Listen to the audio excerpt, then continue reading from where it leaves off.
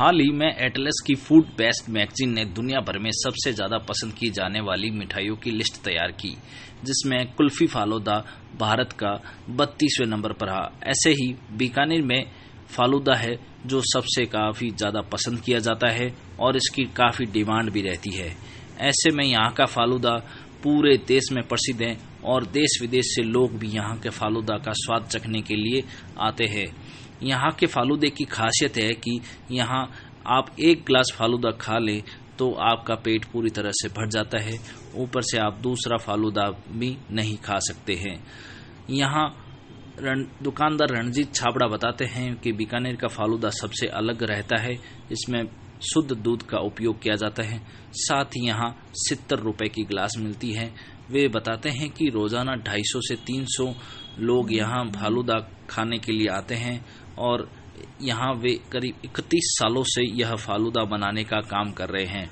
वे बताते हैं कि फालूदा बनाने में काफ़ी समय लगता है और इसकी सामग्री बनाने में तो छः से सात घंटे का समय भी लग जाता है। हालाँकि फालूदा बनने में दो मिनट का समय लगता है, लेकिन इसकी सामग्री बनाने में छः से सात मिनट छः से सात घंटे का समय लगता है। इसमें चीनी, काजू, बादाम, किशमिश, इलायची, केसर, आइसक्रीम, रबड़ी सेवैयाँ सहित कई तरह के चीज़ें डाली जाती है। इसके इसके बाद यह फालूदा पूरी तरह तैयार होता है और यह फालूदा देश यहाँ अलग है भाई साहब, क्योंकि इसमें सबसे पहले दूध का उपयोग करते हैं जो एकदम शुद्ध होता है। और उसमें चीनी है काजू है बादाम है किशमिश है इलायची है।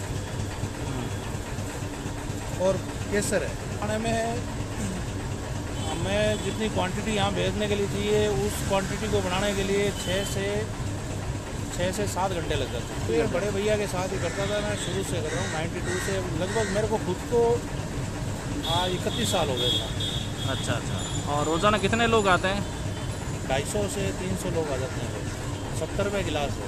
पचास किलोमीटर दूर गाँव में, किसी भी गाँव में जाता हूँ तो वहाँ के लोग मेरे को पहचान लेते हैं और यही मेरी सबसे बड़ी कमाई है।